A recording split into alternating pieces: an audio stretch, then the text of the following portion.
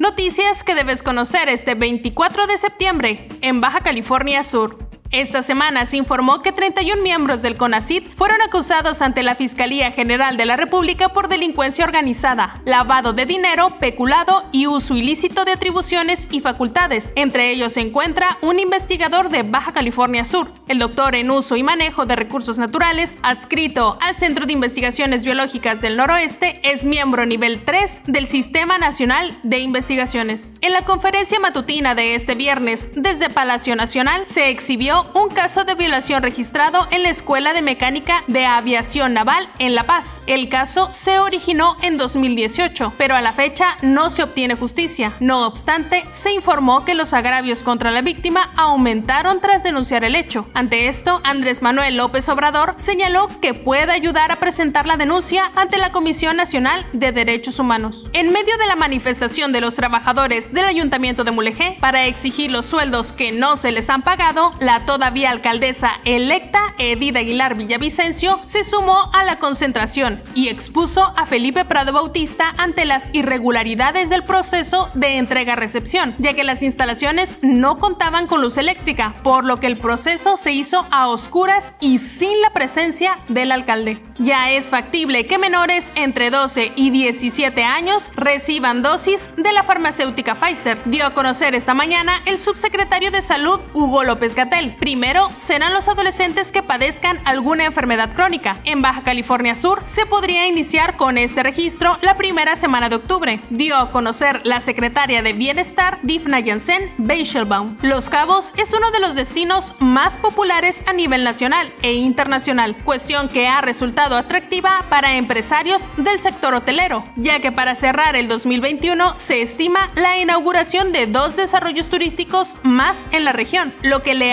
añadirá dirá unos 368 cuartos a la Asociación de Hoteles, dijo la representante Lilci Orsi Fregoso. Un plazo de 30 días es lo que tiene el Ayuntamiento de La Paz para pagar un adeudo de 8.5 millones de pesos que fueron otorgados a los trabajadores por una financiera, quienes no recibieron el dinero que el municipio retuvo de las quincenas de los burócratas. En entrevista con el equipo de BCS Noticias, el representante de conductores de Uber en Baja California Sur, Manuel Cuevas, reveló que cerca del 80% de los ciudadanos asociados a la empresa migraron hacia otras plataformas digitales. Esto se suma a la salida de miles de conductores en la versión de viajes, debido a las altas comisiones que la aplicación les cobra. Para más información, visita bcsnoticias.mx.